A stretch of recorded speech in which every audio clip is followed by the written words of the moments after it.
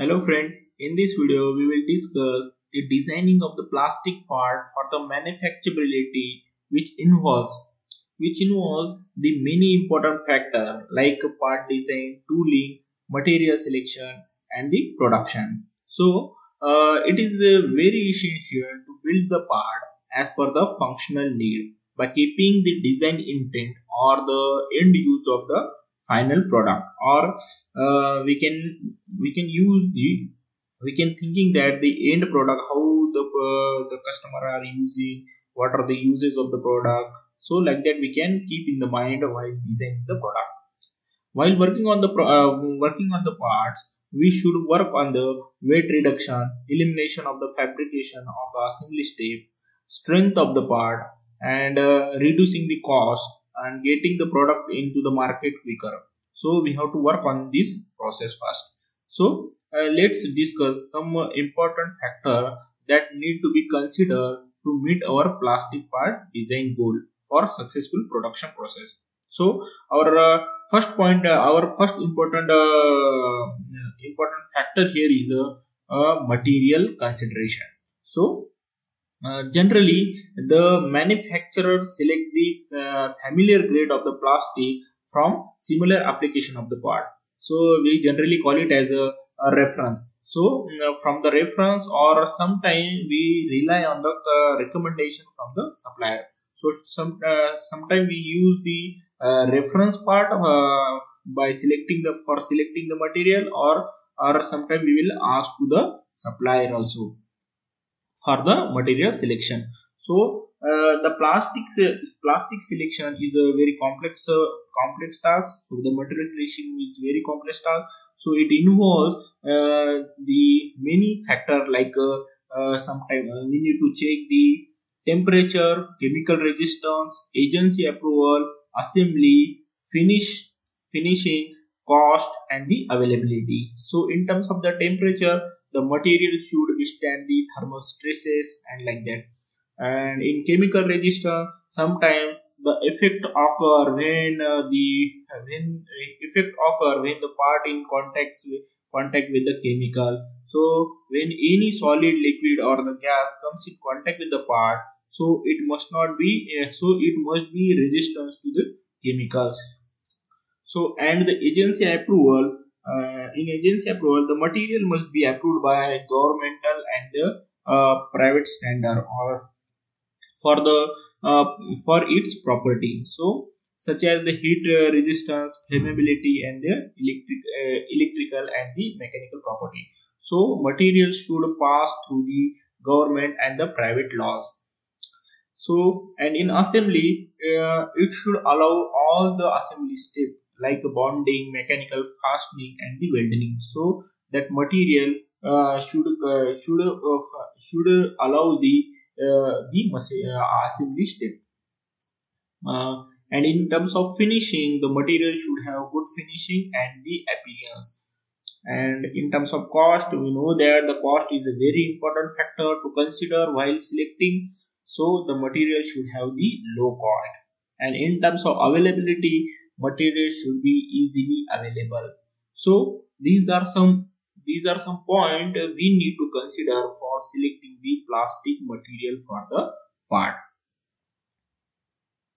And our next factor is a radius. So radius is also a very important factor because the, uh, the you, you, can see that the uh, here some parts having the radius should always be consideration because the radius allows a smooth flow of material during the manufacturing of the part.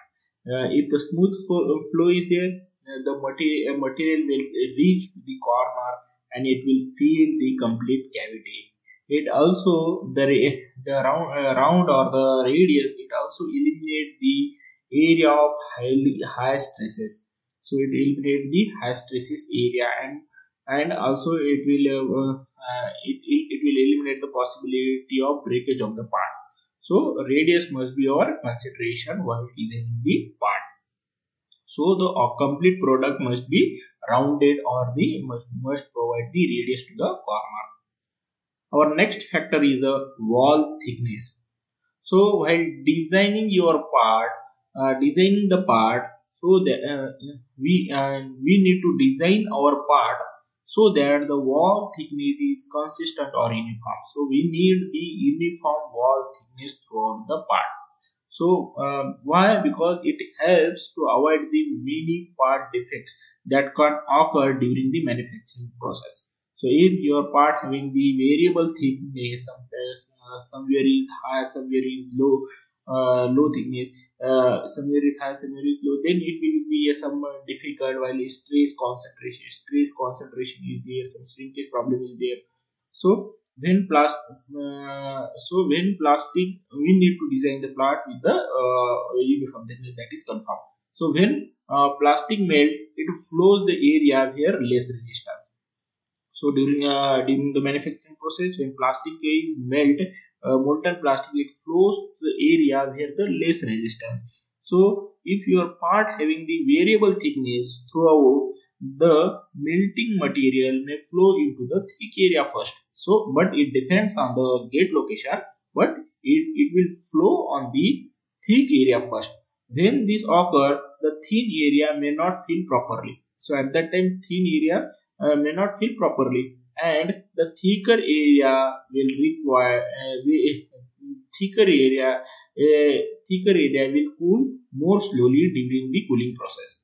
So it is a risk of voids voids or the shrinkage defect so when the thick area will uh, cool more slowly at that time there is a risk of voids or hole a hole in the, or a cavity in the part or the shrinkage defect may occur. So designing your part with the rounded corner will also will, will also help in the proper filling of the part during the molding process. So uh, so in the wall thickness we need the uniform wall thickness that is our uh, design intent and we need to rounded the all parts or the corners. Uh, next factor is an important factor is a gate location so they're designing the gate in a such a way that the material or the resins flow properly.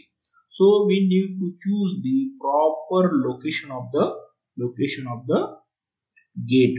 So in uh, why because the proper location of the gate is very important because uh, it defines the complete complete filling of the cavity. So the flow of resin from the gate to the runner and then distribute it through the part. So it defines all these things. We need to fill the complete cavity of the mold. So the gate location is very important. So and the gate, uh, the type of the gate and the location of the gate is very important and it will impact on the part overall quality because we need to we need to uh, we need to fill the complete cavity and we need the uniform cooling. So the gate location is very important for that and it will impact on the quality of the part also. And the type of gate is also very important. And the next factor is the draft. So we all know that in the plastic product design the draft is used for ejecting the part from the mold cavity. So the the amount of the taper on the vertical wall of the part is nothing but the draft. So without draft, part may not eject from the mold uh, that we know or it may damage the part during the ejection. Generally, the draft angle between 1 degree to 2 degree 1 degree to 2 degree are required but it can vary depending on the part restriction or the specification. So it depends uh, it depends on the draft angle it depends on the height of the wall also. Uh, because sometimes the small uh, small or the shorter short height is there. So at that time we'll provide the more draft if the if the uh, high uh, if the high height is there or the large height is there at that time we'll provide the less draft. So the draft angle is very important in terms of ejecting the part from the mold. So this is a very important factor while uh, need to be considered in the design process. Next one is the ribs. Our next factor is the ribs. Suppose we design the part with the minimum wall thickness and it is not as strong as the thicker part. So we know that for strength also for strength purpose we uh, we need we will increase the thickness. But uh, so but we need the minimum wall thickness. So in this case we will not increase the complete part thickness to strengthen the part. So we no need to increase the complete part thickness uh, for strengthening the part. We will include the ribs. Okay we will include the ribs where the sections are weak only where the sections are weak we will include the ribs. Uh, so we will add the ribs for adding the strength to the part. Not overall uh, not we will increase the complete overall overall thickness of the part. So wherever the weak portion is there uh, there only we will uh, we will add the ribs to strengthen the part or to strengthen the section. So here we will avoiding the thicker wall thickness. Thicker wall thickness or the maximum wall thickness because it will increase the overall material or the weight of the part. So uh, uh, if you are increasing the thickness it will increase the overall thickness overall weight of the part and the material of the material um, increase the material also. And adding the rib only and adding the here we are adding the ribs only where the section is weak by keeping the minimum wall thickness. So depending on the material used the rib thickness uh, it will vary but the rib thickness should be it is recommended that the rib thickness should be 50 to 70 percent of the thickness of the part. So it will uh, for uh, avoiding the shrink mark. So uh, the important factor for as for the strengthening purpose the ribs is very important and need to be considered in the in the design process or the in at the time of designing the part. Our next factor is a mold shrinkage.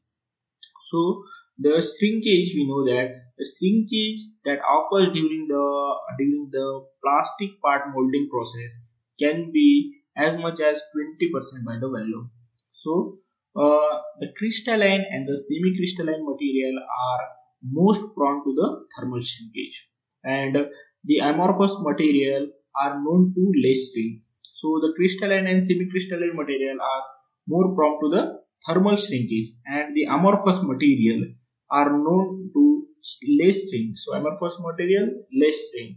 So how we can avoid the molding shrinkage issue? So uh, here only the simple procedure is to avoid the avoid the molding shrinkage is by keeping the molding shrinkage by keeping the uh, keeping the uniform thickness uniform thickness of the part and uh, we can uh, we can avoid the molding shrinkage issue by optimizing the processing parameters such as molding temperature material temperature injection speed injection pressure injection time and the cooling time. And in terms of part we can keep the uniform wall thickness so in that way we can avoid the molding shrinkage or the shrinkage of the part. So in this way uh, we have discussed the important factor need to be considered while designing the part. If you like this video you can like share and subscribe the channel. And don't forget to don't forget to hit the bell icon because uh, you will get the latest video whenever we upload. If you click on the bell icon. So thank you for watching. Keep supporting and keep learning. See you in the next video